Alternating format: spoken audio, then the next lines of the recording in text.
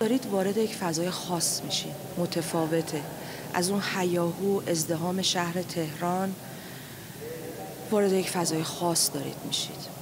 خب این شما رو جذب می‌کنه و به شما یک پیام میده. ضمن اینکه اون ارتفاع اون کشش رو در شما ایجاد می‌کنه که به بالا توجه کنید. حس به بالا توجه کردن یک احساس معنوی در شما ایجاد می‌کنه و بعد وارد فضای تازه لابی مسجد میشید. می‌تونید انتخاب کنید. برید وارد کلاس بشید وارد فضای فرهنگی بشید یا وارد شبستان بشید.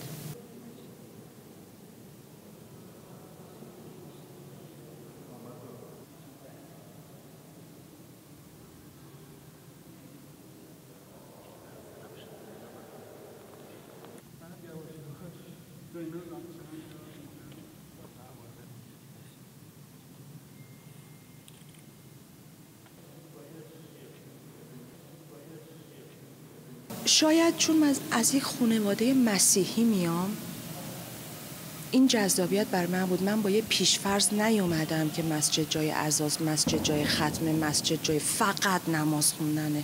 از اول برای خودم سوال کردم مسجد یعنی چی؟ جای سجده کردن. هر کجا سجده کنی میشه مسجد. پس بنابراین چی میشه؟ چی کار باید کرد؟ مطالعه تحقیق به چه شکل؟ رجوع کردیم مطالعه کردیم. هیچ فرم خاصی نداره. هر فرمی می‌تونه داشته باشه. دوباره تحقیق مطالعه. خب نگران باشم که مثلا چلنج داشته باشه. پاسخگو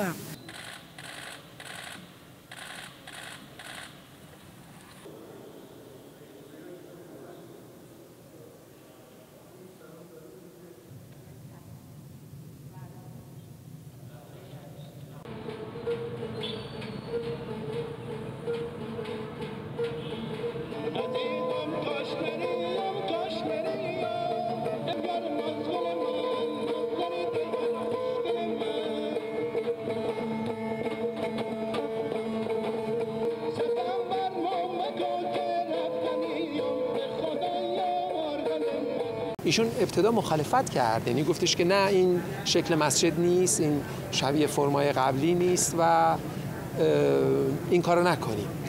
بعد دو جلسه سه ساعته من براشون توضیح دادم که چرا ما این کار کردیم چرا این کار باید به این شکل انجام بشه و در این موقعیت یعنی در تقاطع خیابون ولی است و انقلاب چه قشری داره حرکت می‌کنه مخاطب این مسجد کی هست و بعد از این جلسات بود که ایشون متوجه شد و گفتش که این فکر خوبیه.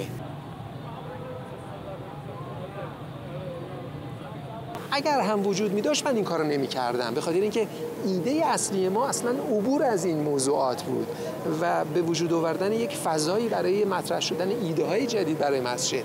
واقعا ایده ما این بود که مسجد رو به عنوان یک پروژه آوانگارد مطرح بکنیم نه به عنوان یک پروژه محافظه کار و در واقع واپسگرا.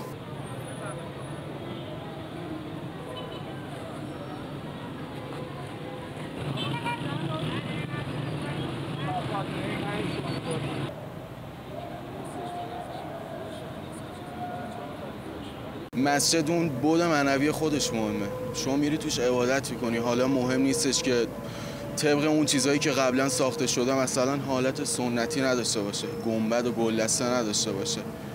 محیطی که واسه عبادته.